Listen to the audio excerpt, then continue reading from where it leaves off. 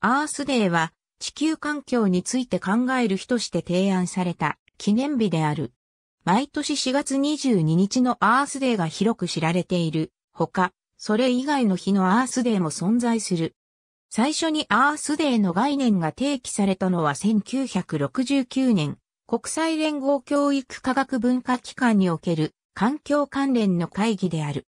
スプートニクショックをきっかけに、米ソの宇宙協力を呼びかける平和運動などを行っていたジョン・マコーネルが提案した、この概念を最初に採用したのは、サンフランシスコ市で同市の市長であったジョセフ・アリオトは、翌年の3月21日に世界初のアースデーを宣言した。また、マコーネルは地球の旗をアースデーのシンボルとして作成した。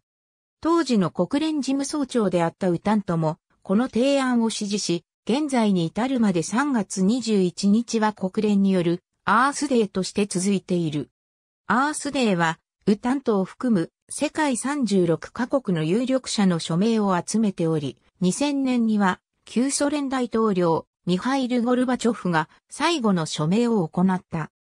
また、ウタントの要請で地球参加も作られ、ウタントはこの歌が国連において国家のような位置を占めることを望んだ。毎年、この日には国連本部にある日本の平和の鐘が鳴らされている。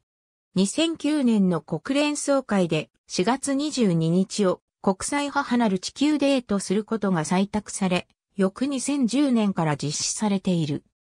デニス・ヘイズアメリカ合衆国ウィスコンシン州選出のアメリカ合衆国上院議員であったゲイロード・ネルソンはアメリカの大学生たちが気候的に過ごしやすく、休みでも試験期間中でも祝日でもないため参加しやすい日程であった1970年4月22日の水曜日をアースデートし、主に学生に討論会への参加を呼びかけた。この呼びかけに呼応した人間の数は2000万人以上であったとも言われている。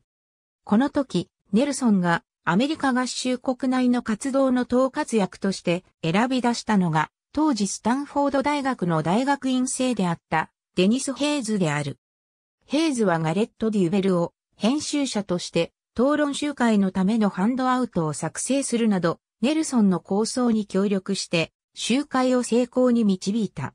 ヘイズはこれをきっかけとして、大学を去り、アースデーの定着に力を注いだ。その後、4月22日のアースデー集会という運動形態は全世界へ広まっていった。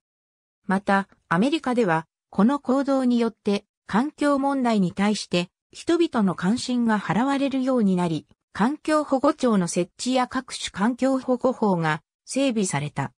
1990年には、米国、ソ連、中華人民共和国が協力してエベレストを登山するアースデー20国際平和クライムが行われた。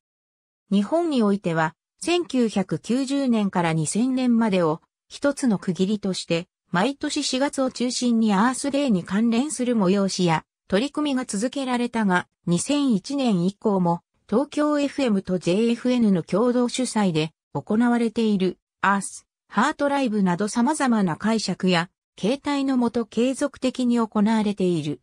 ありがとうございます。